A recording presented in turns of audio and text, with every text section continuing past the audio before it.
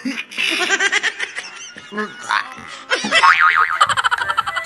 mababa. So, hindi rin nagalaw din kasi nga lasong daw ito. Hindi ko naman abot. One, two, three. Kinakain pala yan, guys. Pero da, kung alam ko saan meron yan. Tara mga kabilbil, puntahan natin. Meron lang dito yan eh, malapit lang dito sa amin.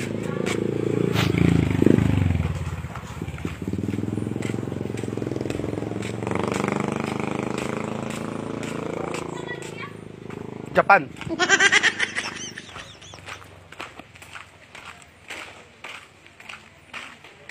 Oh, ang dami. Ang dami oh.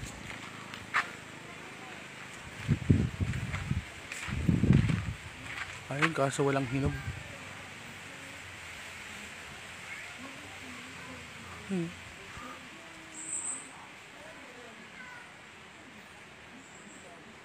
Ayan, sa kabila.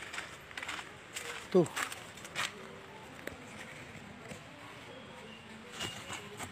Dami. So, walang hinog. Natin. Tigas pa.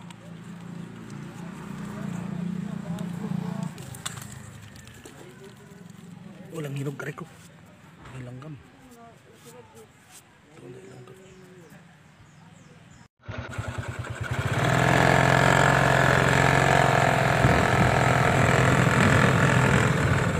Guys, meron ako nakita. Sana may hinog, sana may hinog. Kalam din, kalam.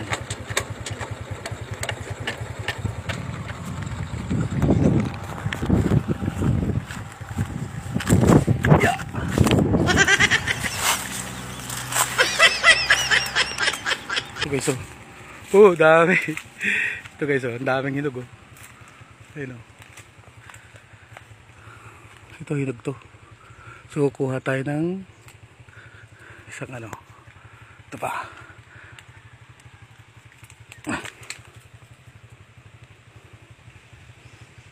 Guys, ang dami. Ito pa, oh. Ito lang pala. Pakarami guys. So, uwi na tayo. Doon natin imumukbang to sa bahay. So, siguro okay na to. Pero ito. Wala ko lagayan. Ito guys, oh. Siguro okay na to. Ang bango niya.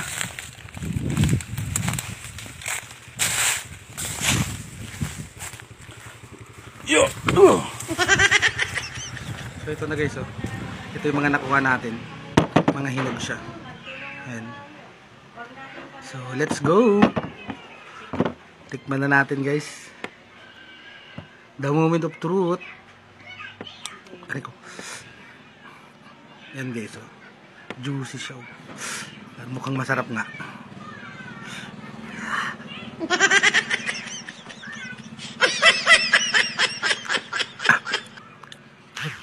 Matamis.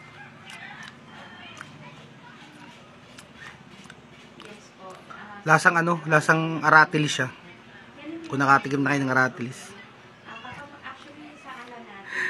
Masarap yung katas niya pero madami siyang buto guys. Oh. So ano kaya ang kinakain dito?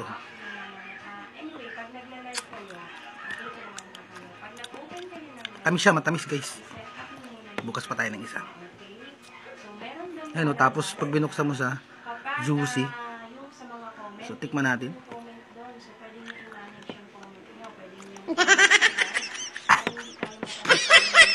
Tamis siya pero hindi ko masyadong bet yung lasa niya guys. So kung meron sa, gani, sa inyong ganito, tikman nyo rin. Ang tawag sa amin na ganito ay tibig. Dito sa Quezon, tibig. So, yun lang guys. At least na patunayan natin na talagang kinakain to ano. Matamis siya. Try nyo guys. Ayan. So, sa mga kabilbil ko dyan, baka meron sa inyong malapit lang sa bahay na ganito, tikman nyo. Ayun, mas masarap siguro yung medyo hinog ito. Hinog to. Isa, pa, isa pang bite guys.